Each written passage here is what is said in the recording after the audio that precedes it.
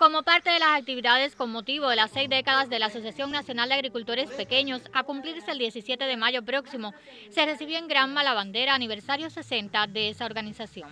Por los resultados que sirven el funcionamiento orgánico de la NAP, el municipio de Jiguaní fue el escogido como punto de partida para el recorrido del estandarte por esta oriental provincia. En la ocasión se ratificó el firme compromiso de los anapistas granmenses de incrementar los volúmenes productivos y la eficiencia para contribuir de forma decisiva a la satisfacción alimentaria de la población en el complejo escenario actual, matizado por el recrudecimiento del bloqueo y la crisis económica mundial generada por la COVID-19.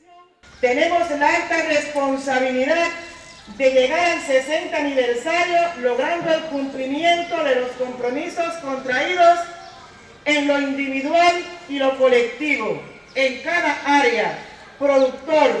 organización de base y cooperativa, por lo que debe prevalecer en los organismos de dirección y en nuestros asociados la disciplina, exigencia, calidad en lo que hacemos,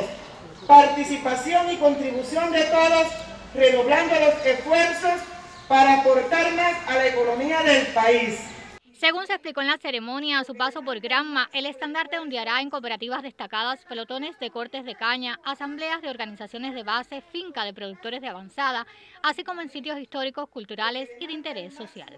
El recorrido a la bandera 60 aniversario de la NAP comenzó el 8 de enero por Guantánamo y recorrerá lugares de los 13 municipios granmenses hasta el próximo 1 de febrero, cuando será entregada a la provincia de Holguín.